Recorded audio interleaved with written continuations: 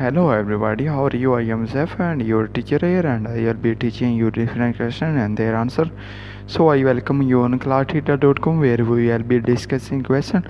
So let's get on the question. So our today's question is how many inches are in 4 1 divided 2 feet?